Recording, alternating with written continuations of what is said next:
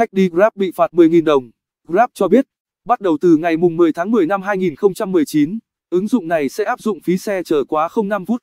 Theo đó, nếu trong trường hợp người dùng đặt xe nhưng không xuất hiện hoặc xuất hiện trễ hơn 5 phút sau khi tài xế đã tới điểm đón, họ sẽ phải nộp thêm khoản phí do Grab quy định. Mức phí thu thêm sẽ là 10.000 đồng cho mỗi chuyến xe GrabCar, GrabCar Plus, GrabCar 7 chỗ và Just Grab và 3.000 đồng cho mỗi chuyến xe GrabBuy và GrabBuy Premium. Grab sẽ đảm bảo việc tài xế tới đúng điểm đón bằng hệ thống định vị. Nếu bị thu phí do tài xế đến sai điểm đón, người dùng có thể liên hệ với trung tâm trợ giúp của Grab để được hỗ trợ. Mức phí này sẽ được trừ trực tiếp thông qua phương thức thanh toán khách hàng lựa chọn trong chuyến đi kế tiếp. Trong trường hợp người dùng không thanh toán khoản phí này trong chuyến đi kế tiếp, tài khoản của họ sẽ tạm thời bị vô hiệu hóa tính năng đặt xe trên ứng dụng Grab.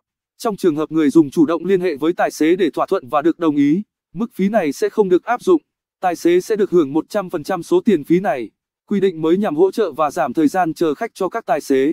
Grab cho biết, được biết, phí xe chờ quá 05 phút chỉ là một trong những quy định được Grab đưa ra trong thời gian gần đây.